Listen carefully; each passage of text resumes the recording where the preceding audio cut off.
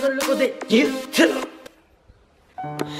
Duerme, duerme, duerme, chiquita bebé. Así es, una Doro Historia más sentado en el sillón de las Doro Historias. Así que, ven, hijo mío, siéntate a mi lado, siéntate en mis piernas, preciosa. Mm, que es hora de las historias del abuelo dorado.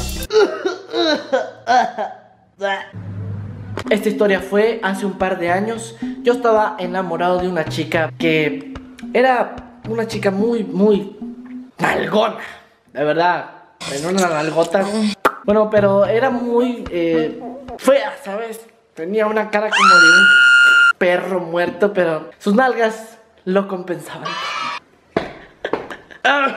Discúlpenme, perdón. Esa chica pues se veía como que una niña muy buena y todo eso, pero en realidad eh, tenía ciertas amigas que alteraban todo su mundo, ya que sus amigas eran pues una típica Brittany, una típica viajaira, o sea, cholas, eran amigas cholas. Y pues como a ella no le dejaban tener novio, yo no podía ir directamente a verla a su casa. Teníamos que quedar en algún lugar o a una casa de su amiga y así. Entonces una vez me dijo, oye, ¿sabes qué? Estoy aquí en casa de mi amiga, ¿puedes venir? Y me dijo la colonia. Y yo dije, ay, esa colonia es... Es otro peo, ¿no? Ya esa colonia dicen que sales incompleta. Me dijo ella, ven, aquí está mi amiga con su novio y mi otra amiga y yo. Estaría padre que estuvieras aquí. Yo dije, bueno, dale, vale, voy para allá. Y me fui a la bici. En ese momento que iba pasando por ahí, pues vi uno que otro cholo, pero inofensivo. En el camino vi que iba el novio de su amiga. Ya se iba y pensé, tal vez se molestó con ella, hubo un pedo, no sé. Llegué a la casa de la amiga y pues la amiga era una morrota grandota, así como que una futura buchona y cabrona con cuatro bendiciones. Y pues la vi y dije, no, pues esta morra debe tener sus 20 años, sus 25 años tal vez. Casada, pero no, la morrilla tenía como 15 años. Y yo, ¿qué, qué, qué, qué pedo, carnal? ¿Qué? Entonces cuando llegué, saludé a todos. Hola, ¿cómo estás? Y a ella le dije, ¿cómo estás, mi reina? Véngase aquí apretadita conmigo, mija. Carita de perro muerto, pero nalgas de modelo. pues estuvimos platicando y todo eso. Y pues estaba enojada la morrilla con su novio, por eso se había ido. Entonces regresa al novio y empieza, vamos a platicar, por favor, ven, ven, ven, por favor, ven, quiero arreglar las cosas, no sé qué. Yo dije, pues están enojados, ¿no? Entonces el chavo quiso arreglar las cosas y la chava, pues como era chola y lidiosa, empezó, no que tú no sé qué, que no vales sabe cuántos kilos, que chingas a tus no sé qué mira, vamos a hablar bien. O sea, aguantando los insultos de esa pinche morra chola, que onda liosa, como saben, típica británica. Entonces, pues, el chavo dijo, es que quiero arreglar las cosas con ella, vamos a ir. Y yo pues viendo todo esto atentamente y tratando de analizar qué estaba pasando aquí. Llega el chavo, se pone frente a ella y le dice, por favor, ya, perdóname, vamos a platicar bien, no sé qué. Entonces él lo que hace es cargarla así. Y la chava, güey, haz de cuenta, truena, güey. Se encabrona y empieza. Suéltame, que quítate, que síjame, que chinga tú no sé qué, que ya déjame. Suéltame. Y yo así, güey, esta morra está loca. Qué ojete tener una novia así de estúpida. Uy, qué asco. Entonces el chavo pues aguantando los chingazos, ¿eh? Porque le estaban cajando las uñas así, le hacía...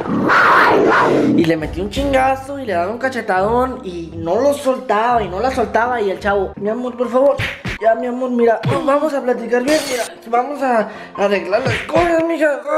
Y pues son situaciones incómodas, yo estaba con la chica cara de perro como que tu amiga es intensa, ¿no? El chavo la, bajó y la tenía así súper abrazada y no la quería soltar porque quería hablar bien. Y la morra que pegándole, chingas a tu no sé qué, que chinga tu perra bomba, no sé qué tanto. O sea, una chava corriente, hablando con un hocico así de puerco. Entonces su amiga, la que les digo que parecía una futura luchona, llegó y le dice, ya suelta la buena onda. Y luego, no, no, no. Y la amiga, pégale, pégale. Y la amiga, pues ya sabes, ¿no? Entre corrientes, entre estúpidas entienden. Y le dice, te voy a dar una cachetada si no la Y le dice el chavo, no hay pedo, dámela. La morra le dio un cachetado así. Que tronó un chingazo tan duro. Si de por sí el güey ya estaba todo arañado, todo chingueteado. Imagínense con esa pinche mano de cerda.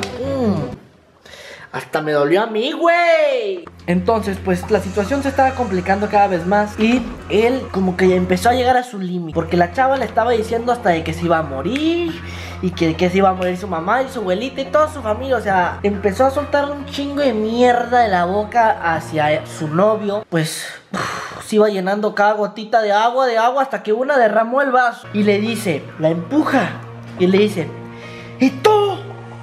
Que andaba de puta con sabe quién. Y qué pendejada, de verdad. Me dio lástima ver esa relación porque el chavo después de ser golpeado, humillado, arañado, atacado, insultado, el chavo le dice puta y la chava se le va encima. Llore y llore. Me dijiste puta.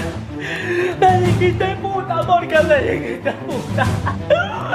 Me dijiste puta. No, no, no puede ser, no. No puede ser porque me dijiste puta. Y yo estaba como que, digo, eh. Tú le dijiste culero, puto pendejo, hijo de su puta verga, cola, pinche chonga peluda, no sé qué tantas pendejadas le dijiste a su mamá, a su abuelita, no sé qué, no sé qué.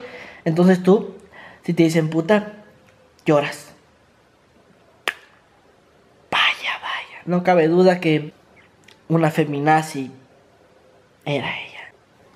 Y pues después de tanto show, los vecinos salieron, porque para entonces ya había varios vecinos afuera, pues ahí no, de metichones, de metichón. Llega una viejita y dice, ya le hablé a la policía, ya viene la patrulla para acá.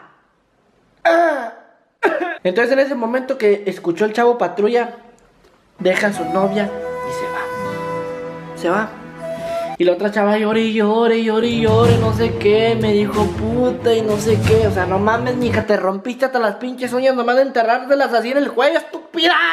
Pues yo me despedí de mi chica y le dije, bueno, ¿sabes qué? Ya me voy porque pues ya te vas también tú, ¿no? Con tu amiga y no sé qué. Entonces pues se fueron.